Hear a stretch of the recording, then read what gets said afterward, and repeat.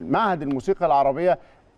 الآن وصل الكابتن محمود الخطيب رئيس مجلس إدارة النادي إلى مقر معهد الموسيقى العربية. هذا المسرح العملاق الحقيقة اللي بيبعث برسائل كبيرة جدا في استضافة هذا الحدث الاستثنائي. ما أنا بقول لكم استثنائي في كل القيمة. هذا المعهد معهد الموسيقى العربية أنشئ 1914